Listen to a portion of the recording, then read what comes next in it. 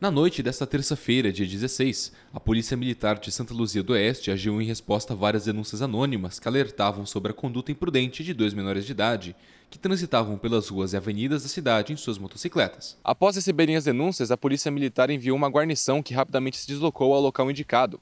Os adolescentes foram abordados pela polícia e as motos foram apreendidas. A ação da polícia é uma resposta firme diante de comportamentos que colocam em risco não apenas a segurança dos jovens, mas também de outros usuários das vias.